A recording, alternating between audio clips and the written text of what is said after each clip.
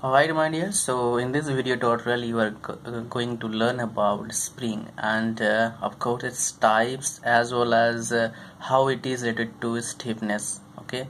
Because uh, all this video is for only mechanical engineers and uh, those are studying about a spring. So I will talk a little bit advanced as well as basic. So basically what is spring? It is just like acting as a reservoir you can say because it store uh, store energy store energy right?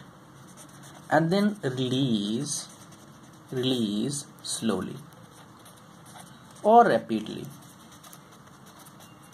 okay? So let me give you an example. Probably you have seen leaf spring. We use this spring uh, just below of the chassis of a heavy vehicle. Okay just like a truck. Okay so why we use this leaf spring in truck? If you have studied automobile engineering then probably you have heard about leaf spring. Okay if you don't know then you can ask any mechanic. He can explain you and show you what is exactly it because without seeing things you cannot understand properly and he can make you understand each and everything about it. So actually my uh, this video is not for making you understand about leaf spring that you can easily understand from anyone. This video is for uh, for helping you to uh, you know to have basic knowledge as well as very good approach to solve numerical problems related to spring okay? So uh, we why? The question is here why we use leaf spring okay? So basically you know uh, if truck is moving on a road and you cannot say basically I am from India so you cannot say uh, when the truck will the truck will face jerk because of the road condition. And to if if jerk will be too much then probably it may damage the chassis. So that is the reason to avoid damage to the chassis. We used leaf, leaf spring or coil spring even that would be depend on vehicle to vehicle okay? But most of the time for heavy vehicle we used leaf spring okay? That's why I have given you this example okay? Probably we have seen like this okay? Uh, like this you have seen. This the diagram for leaf spring. You have seen such type of uh, arrangement just below of the chassis and uh, don't uh, don't you don't even see truck you can see in pickup also okay? So that is about spring. Now if you are studying you know uh, in engineering level then you need to understand a uh, little bit in-depth concept. Just like you know helix and uh, helix angle you must say. What is helix angle? Actually helix angle is denoted by alpha and uh, it helps us to classify spring. So basically if you're talking about the types of spring there are two types of spring. One is open coil spring and another one is closed coil spring. Open coil spring and closed coil spring. If it is less than if it is less than equal to 10 degree. If helix angle is less than equal to 10 degree then it is known as closed coil spring. If it is greater than greater than 10 degree then 10 degree then it is known as open coil spring. Okay? Now if you're talking about uh, uh, actually which spring is most important for you right? So then I will say close spring is really most important for you. Okay so we'll go through few formulas of closed spring but let me share with you one of the thing which is really most important that is known as stiffness.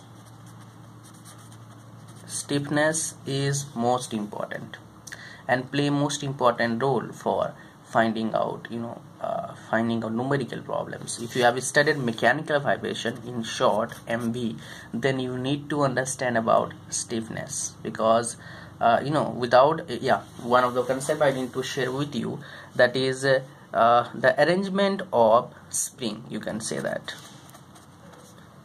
Arrangement of spring so there are two ways we can arrange spring. One is parallel and another one is series. Probably you have studied about you know parallel and series concept in plus 2 uh, yeah 11 uh, 12th maybe for conduction uh, conduct uh, capacitance as well as not conduction capacitance as well as resistance. Well if you have studied about uh, most probably haven't studied about HMT we also have this concept parallel and series. Now if two springs are parallel suppose that uh, we have uh, stiffness k1 and this is stiffness k2 right? So this is mass. So if two stiffness are parallel to each other then what we do? Equivalent stiffness is equal to k1 plus k2 now this is for the case of, of parallel. Now what will happen for series that you need to understand suppose that this is a fix and 1 and 2 this is mass. K1 and k2 two stiffness are here. So if I wanted to find out there is only one stiffness that is uh, k equivalent then what should I do? That is important so for finding out in the case of series what we have to do we have to do just like this. Ke is equal to k1 by k2 so after calculation what we are going to get here? K1 k2 k1 plus k2 so k is equal to we can write k1 k2 divided by k1 plus k2 so this is the this is all about you know stiffness of the spring and their arrangement. Okay? Now uh, one of the most important thing I would like to share with you. So what happened most of the time they relate spring with strain energy. And sometime with torsion also. I don't know you have studied this subject in strength of material or not but these two things they can relate with the spring okay? So i will share with you in my uh, next upcoming videos how they are relating and how to solve numerical problems related to it. That's why you will not face any problem. Okay? So now most important thing most important thing right now i would like to share with you the unit of the stiffness. What is the unit of k which is we denote for stiffness right can you guess how you can find out unit for stiffness?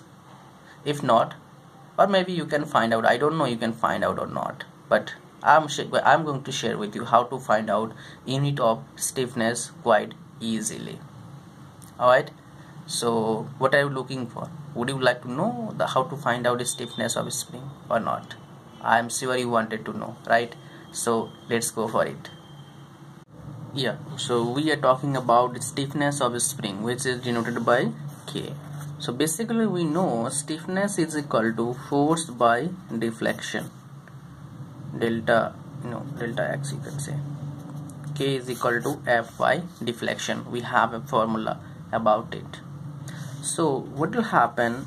You know force is denoted by newton and deflection that means some kind of distance. Uh, let me share with you how I am sharing like this. Suppose that we are having a beam right? And we are putting load here W Newton. And because of this load the beam is bending like this. And this distance is known as deflection. Most of the time we denote this deflection as delta x. That's why it is it is in meter only. So if we are taking in SI so the unit of stiffness is in newton per meter right? If you are studying mechanical vibration then we have different formulas to find out its unit okay? Uh, yeah but unit is same for all the subject by the way. Yeah you must uh, remember that. So this is all about you know spring and all that. But if you're talking about closed spring then we have couple of formulas. Those are really important and play most important role for the competition examination. Okay? Just like you know if you wanted to find out spring index spring index is equal to d by d. Okay? So spring index what is spring index basically? You know suppose that we are having a spring there are two types of diameter we are having right now. The diameter of this uh, this spring and diameter of this one this coil. So this is known as d and this coil is known as small d. So this is how you can uh, find out spring index right? Now other than this one we are having another formula that is you know uh, that I must say that yeah. Other than this we are having I must say that that which one formula is that? That is deflection of spring.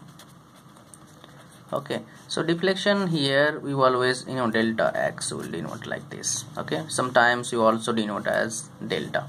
Okay. So this is about a deflection of spring right? So what we can uh, I mean what what formula we have right now to find out deflection of spring that is 8f spring index uh, q 8f s q n and then by gd this is the formula for finding out deflection of spring. So basically what is g? G is modulus of rigidity that is I hope you know what is. It. shear stress by shear strain I think so. Yeah. Shear stress definitely shear stress by shear so this is a shear stress by shear strain yeah. Now what is d? D is coil diameter of the coil. What is n? And you know that. Number of turns. This is number of turns you can say. Okay. And s the spring index is i am denoted here as s and f is applied load or you can say force okay? So this is how uh, you know this is all about spring and uh, its uh, you know deflection. Now if you wanted to find out stiffness of spring in another way we are having different formula also to find out stiffness of spring. So as I have already shared with you is deflection is equal to what? K is equal to force by deflection now we are having now relate this let, let me write here also. So k is equal to delta x by f. No sorry. F by delta x because newton per meter its unit is. Now relate these two formulas. How we can find out how we can find out stiffness from this formula this is simple right? So what we have to do we have to do it like this because delta x is equal to gd gd by 8 sqn. So we can say that delta x is equal to gd 8 sorry sqn. This is the formula for finding out uh, sorry delta x is equal to this okay? Now f or I mean this should be k. K is equal to like this okay? Because we have given delta x already. So k is equal to gd 8 sqn so this is how you can find out stiffness stiffness of a spring by comparing these two formula. Okay? So this is all about spring i mean spring open coil spring closed coil spring and all types of spring and things we can use to find out numerical problems and understanding basic concept of spring. Alright? I hope you understand something from this video. Thanks for watching. See you soon in my next video. Bye bye